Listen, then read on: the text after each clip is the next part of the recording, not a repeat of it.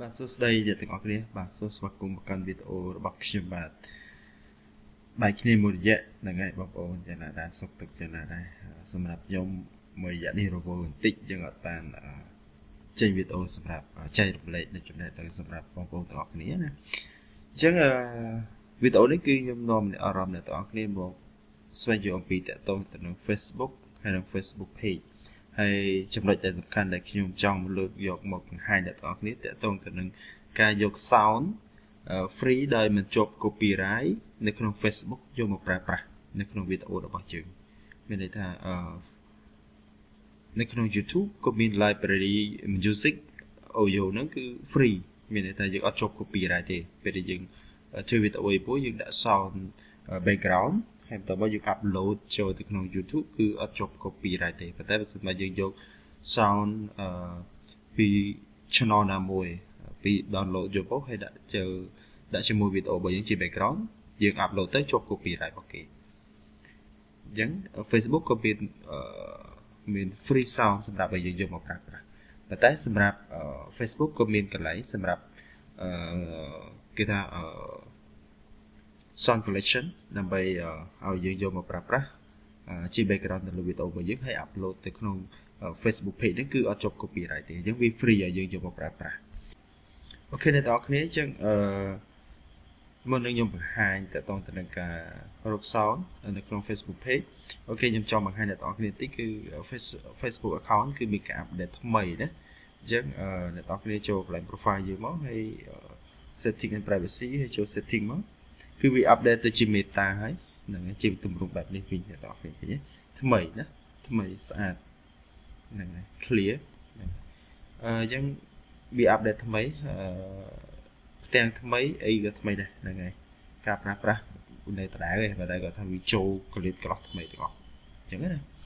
អូខេអ្នកនរគ្នាអញ្ចឹងអឺងាកមកតាក់ទងទៅនឹង page វិញអ្នកនរគ្នាតោះយើងទៅមើលរបៀបនៃការ ស្វែងរក sound collection នៅក្នុង Facebook page អញ្ចឹងណាហ្នឹងហើយអញ្ចឹងអ្នកទាំងអស់គ្នាបើក page អ្នកទាំងអស់គ្នាមកលេខ page របស់ខ្ញុំគឺទុកចោលយូរហើយហ្នឹងហើយ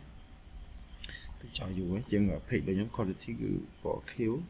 ណាពណ៌ខៀវគឺល្អហ្នឹងហើយអញ្ចឹងអឺដើម្បីទៅរកកន្លែង sound free នៅក្នុង Facebook page អ្នកទាំងអស់គ្នាចូលមកកន្លែងអឺ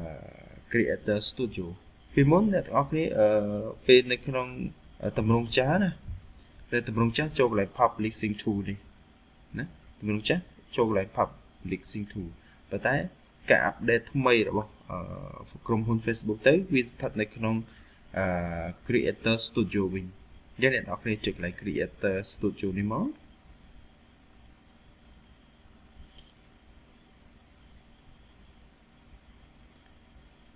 បាទវាកំពុងតែ ដើរអ្នកទាំងអស់គ្នាអញ្ចឹងហើយបន្ទាប់មក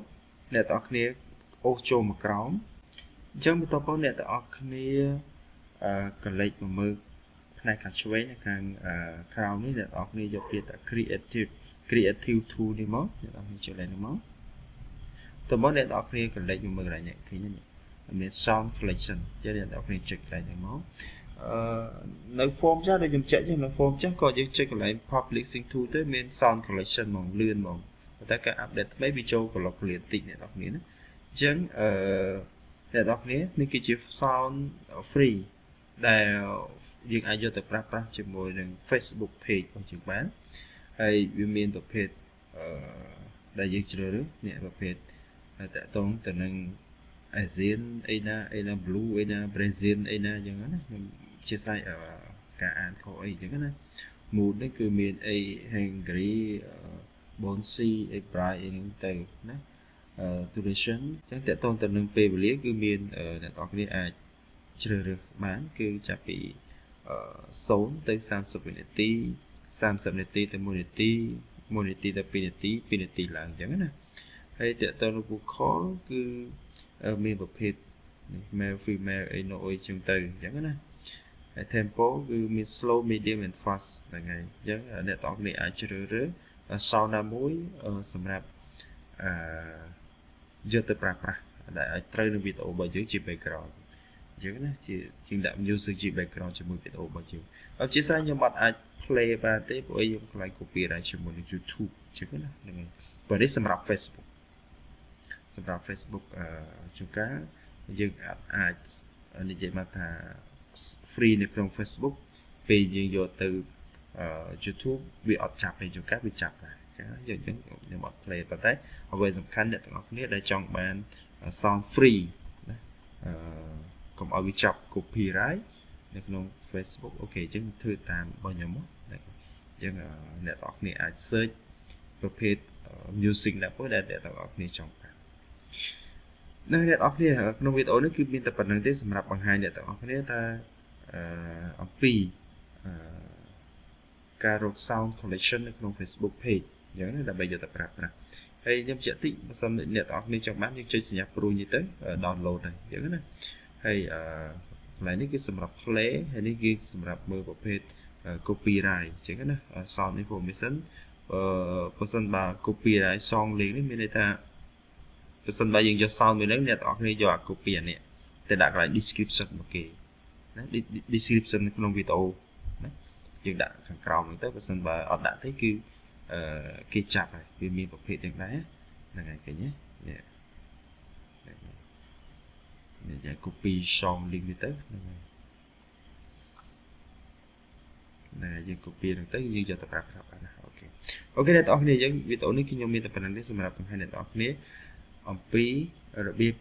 ស្វែងរក sound collection នៅក្នុង Facebook page ក្នុងឆ្នាំ2022ដើម្បីយកទៅប្រើប្រាស់ដោយមិនជាប់ copyright អឺពី Facebook ទេយើងយកទៅប្រើប្រាស់បានដោយសេរីដើម្បីយើងអាចដាក់ជា background ទៅលើ news ទៅលើវីដេអូរបស់យើងអូខេអរគុណអ្នកទាំងអស់គ្នាជួបគ្នានៅវីដេអូក្រោយ